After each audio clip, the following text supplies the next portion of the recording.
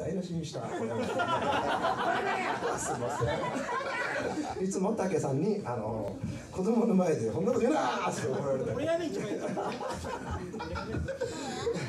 そんなわけで、えー、ちょっとあのそういうバラードいきます、えー、フリーマン。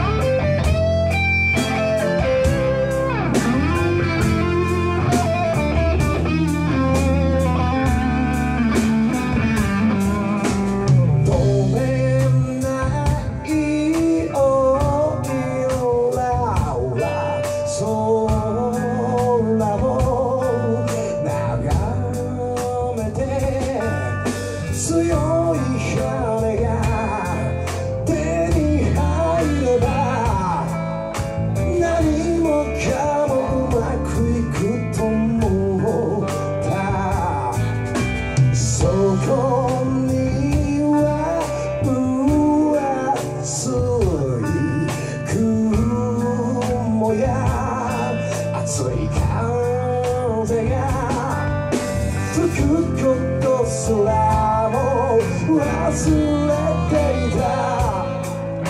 忙しさを